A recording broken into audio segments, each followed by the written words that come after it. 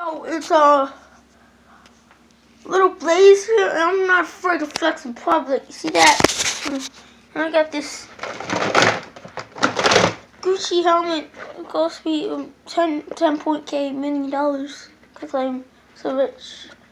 We're staying in this apartment because I'm going on tour. Let's flex. Flex.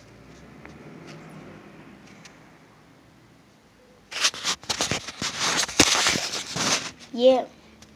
Little blaze flex. Let me just show flex real quick. Let me show you this flex real quick.